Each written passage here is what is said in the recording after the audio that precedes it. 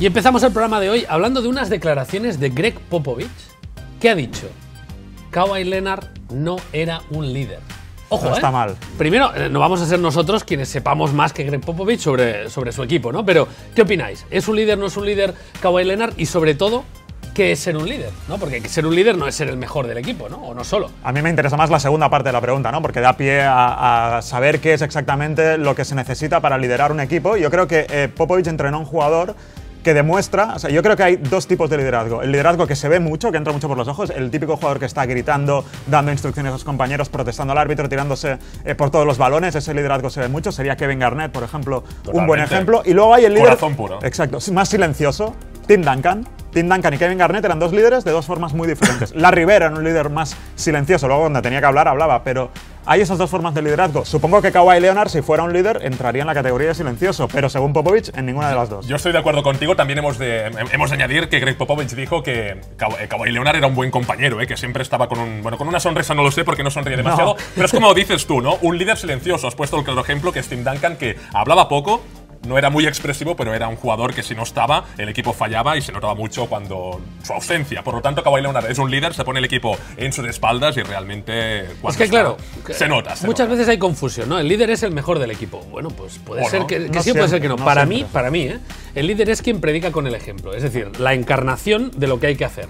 El que hace siempre lo que hay que hacer. Lo que hay que hacer puede ser entrenar mucho, puede ser dejarse la piel en la pista, puede ser hacer caso al entrenador, puede ser lo que sea, ¿no? Pero es más difícil, digamos, desde fuera ver quién está haciendo aquello que es lo ideal para el equipo, ¿no? Entonces, el ejemplo de Tim Duncan, por ejemplo, y de Kevin, Kevin Garnett son perfectos. De hecho, la confirmación de lo que dices es que eh, Popovich, cuando hace estas declaraciones, dice un, un ejemplo de lo que sí era un líder era Manu Ginobili. Y a mí eso me parece una confirmación de que no hace falta ser el mejor de tu equipo No era ni titular. para ser un líder. ¿no? Sí. Eh, Manu Ginobili no es la mega estrella, pero es un jugador que siempre.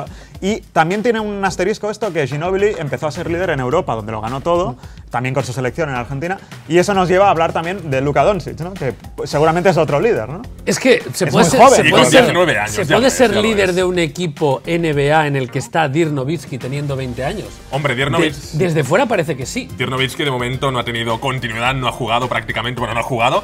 Y para mí sí que Luka Doncic es el auténtico líder de este equipo. Es un poco duro, ¿no? Decir esto porque es un rookie que viene de Europa, que había gente que decía que tal vez incluso se estrellaría un poquito, pero lo estamos viendo con una madurez. Ha alcanzado un nivel de juego en su primer año. Y sobrado. Y sobrado, y lanzándose tiros de esos bien defendidos, incluso se atreve a lanzar desde la larga, larga distancia, lo hemos visto contra los Rockets, ¿no? En los últimos segundos, con total confianza, y luego que los compañeros lo escuchan, los compañeros lo miran, Eh, los Esa, esa es compañeros... la es parte, más esa es la parte que yo no, no, no me atrevo a decir simplemente viendo los partidos. No sé si dentro del vestuario se ha ganado ya el, se ha ganado el respeto como buen jugador, seguro.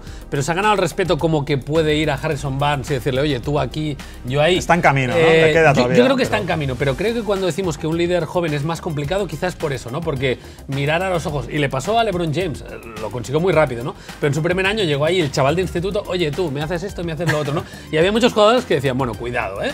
Hay que dejarle tiempo. Yo creo que el líder tiene que poder dar órdenes en base a que él primero ha cumplido, ¿no? Y, y eso requiere tiempo, creo que requiere tiempo. A su favor, él, fue un él ya era un líder en Madrid, en, en Europa ha sido un líder y eso ayuda y te forja. Luego ya veremos si te dejan hacerlo o no, pero en principio vas en camino de serlo. Hay mucha gente que se está preguntando ya si a lo mejor podría jugar, no me parece una locura.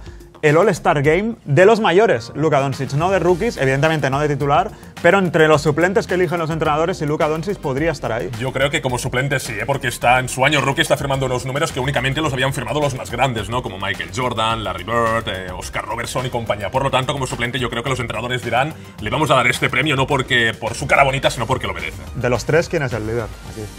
¿No hay líder?